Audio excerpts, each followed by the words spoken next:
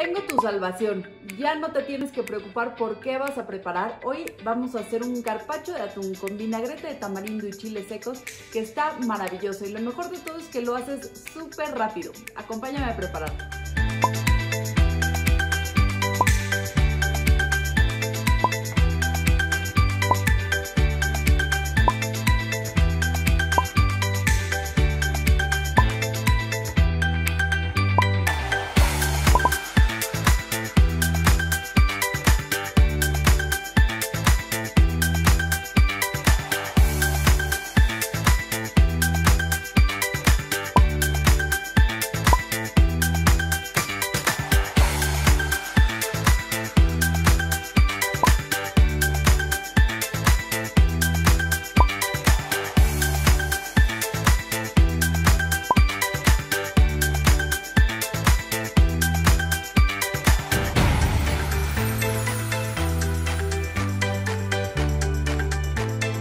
Qué rico esta receta agridulce, ¿no? Miren nada más este toquecito de melaza que solamente azúcar mascabado domino te puede dar en combinación con el tamarindo y los chiles secos.